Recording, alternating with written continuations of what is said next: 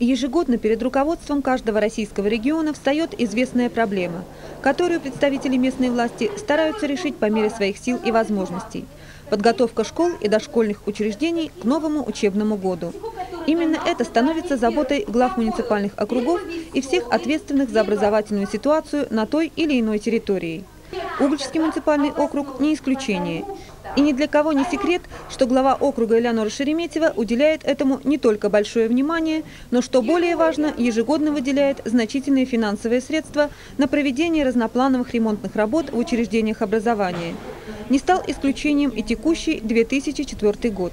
Достаточно сказать, что на ремонтные работы в школах и дошкольных заведениях было затрачено более 7 миллионов рублей – из них 1 миллион 33 тысячи – финансовые вложения из областного бюджета. Остальные же средства, около 6 миллионов, взяла на себя муниципальная казна.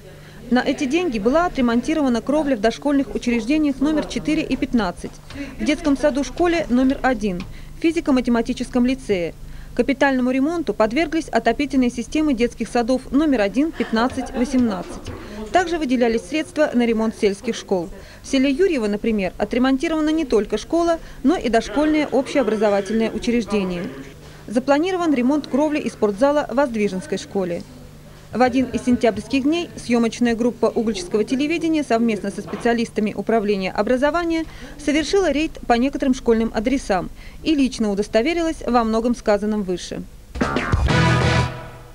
Первая остановка была сделана в физико-математическом лицее. В этом году на глобальные перемены в его стенах было затрачено 612 тысяч рублей. 198 из них из областного бюджета, остальные более 400 из местного.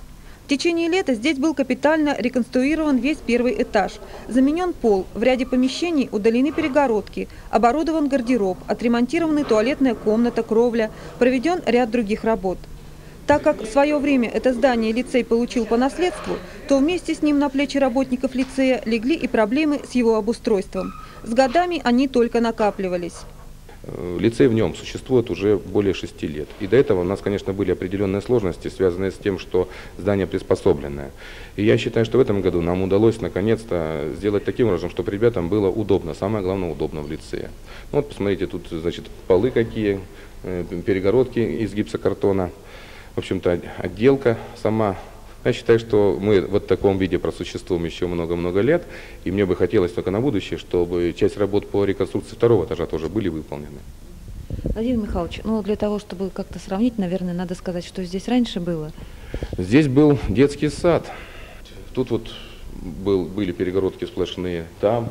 То есть мы как-то расширили все это, убрали все лишнее, сделали, не, не оставили проходных кабинетов. Значит, э, свет, вот видите, новый, вновь провели, все светильники повесили. Ну, конечно, здесь современные материалы использованы. Да, это в первую очередь гипсокартонные стены, которые требуются по правилам пожарной безопасности. Это вы видите значит, э, плиточ, плитки из керамогранита, они не скользкие, нормально детям. В общем-то, я думаю, что они простоят очень долго, в отличие от линолеума. Кстати, здесь вот по этому коридору до этого лежал линолеум, которому было более 30 лет. И вот мы, нам удалось его в этом году заменить. Ребята что-то сами как-то помогали? Ребята в основном выполняли работы по очистке территории, по уборке после ремонта. В общем-то, каждый из учащихся школы отработал на благоустройстве школы 5 э, дней. Ребята приходят, родители в школу не узнают просто-напросто, куда мы попали. Мы не можем, мы не знаем пока куда пойти. Тут так стало просторно, много места. Средняя школа номер 4 – очередное общеобразовательное учреждение и еще один пункт проведенных ремонтных работ. К началу этого учебного года здесь капитально отремонтирована учительская. Местному бюджету это обошлось в 200 тысяч рублей. Из фонда материального обеспечения была приобретена новая мебель. Проведен косметический ремонт столовой, восьми учебных кабинетов, подновлены полы, стены, подоконники. Капитально отремонтированы электрощитовая и теплоузел – в разговоре с директором школы Алевтиной Масловой выяснилось, что работа по обустройству школы будет продолжаться. Перспектив много. Это ремонт второго этажа, капитальный ремонт реконструкция буфета столовой полностью. Это капитальный ремонт мастерских, которые отдельно стоящее здание, мастерские для девочек, для мальчиков. Это ремонт вентиляционной системы школы и ремонт ряда кабинетов. То есть там много еще у нас всего. Ну, это уже на следующие годы. На следующие годы. Ну и да, и благоустройство, благоустройство территории, прежде всего нам нужно ограждение вокруг школы. Это он у нас подвергается всем ветрам. И местные жители тут нам много приносят мусора, и выгул собак на спортивной площадке, которую мы не можем использовать по назначению. То есть вот это как бы перспектива. Значительные изменения произошли этим летом и в средней школе номер два. Ее директор Наталья Мишустина рассказала, что старт проведенным работам был дан в июле, сразу же после выделения первых денег. Следуя предписанию Госпошнадзора, стены и потолки учебного заведения были обшиты гипсокартоном, негорючим и экологически чистым материалом. Также был реконструирован холл. С переносом лестницы на новое место он стал более просторным и красивым. Ребята прибежали в школу 1 сентября очень рано еще до начала линейки. И они открыли рот от радости. Им все очень понравилось. Они не узнали наш холл, они не узнали лестницу, им очень понравилось. Но родители более сдержанно пришли в школу, но родителям тоже все очень понравилось. Они сказали, что школа стала новая. Работы еще очень много. Нужно привести в порядок обязательно столовые, у нас буфеты раздатки. И у меня три здания. Нужно обязательно привести в порядок э, туалеты кабинеты, нужно купить новую мебель. И тогда школа будет у нас идеальной. Наталья Алексеевна, за, э, за счет каких средств проводился ремонт в этом году? Но прежде всего я хочу сказать большое спасибо Леоноре Михайловне Шереметьевой, главе нашего муниципального округа, за моральную и, конечно, материальную поддержку. Она не отказывает нам практически ни в чем. И если она что-то обещает, она обязательно делает. И в этом году э, были выделены достаточные средства из местного бюджета, и из областного бюджета тоже были выделены деньги. Но, кроме того, Элеонора Михайловна обещала, и она обязательно сделает, привести в порядок территорию перед школой. Потому что эта территория не только вот наша школьная, но здесь находятся и две церкви, и собор, и жилые дома. И поэтому в течение сентября, я думаю, мы ее приведем в порядок. Детский сад начальную школу номер один в микрорайоне Цветочный также можно с полной уверенностью отнести к дошкольным учреждениям, не обделенным вниманием со стороны местной власти. Косметические ремонты ежегодно проводятся во всех детских садах и зачастую расходы на эти цели даже не учитываются.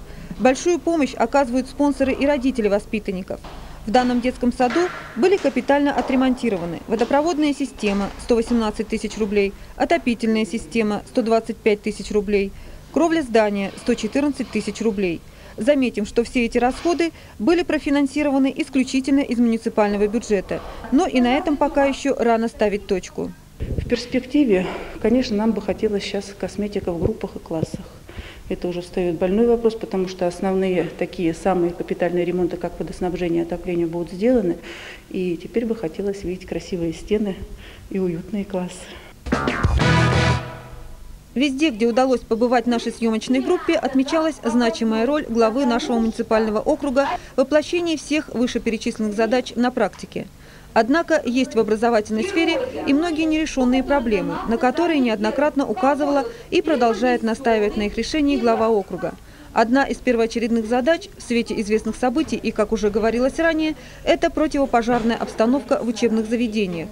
И если в техническом плане она, по заверениям специалистов, должна быть полностью решена в самом скором времени, то противопожарный ликбез и тренировочные мероприятия должны стать нормой жизни каждого образовательного учреждения. В интервью с начальником управления образования Тамарой Гуливатой были отмечены и другие моменты. В хозяйственном плане это приведение в порядок пришкольных территорий, в воспитательном – внедрение в дошкольных учреждениях эстетических курсов для качественного и гармоничного развития будущих учеников. Также не за горами и компьютеризация всех школ. Мы ждем э, новых компьютеров, причем эти компьютеры приобретены э, на условиях софинансирования. 25% э, проплатил муниципальный бюджет, это составило 600 тысяч, и 75% за счет бюджета областного и федерального. Практически компьютеризация школ у нас будет завершена, и мы получаем компьютеры, причем э, с современными мультимедийными установками, и будем иметь в большинстве школ выход в интернет, э, и также вот э, эти средства современных, современные компьютерные средства, они позволят улучшить качество обучения школьников. Также в планах специалистов управления образования проведение в самом ближайшем времени общегородского родительского собрания. В связи с этим все, у кого есть какие-либо предложения по совершенствованию муниципальной образовательной системы, могут обращаться непосредственно в управление образования. Все замечания и предложения будут обязательно учтены.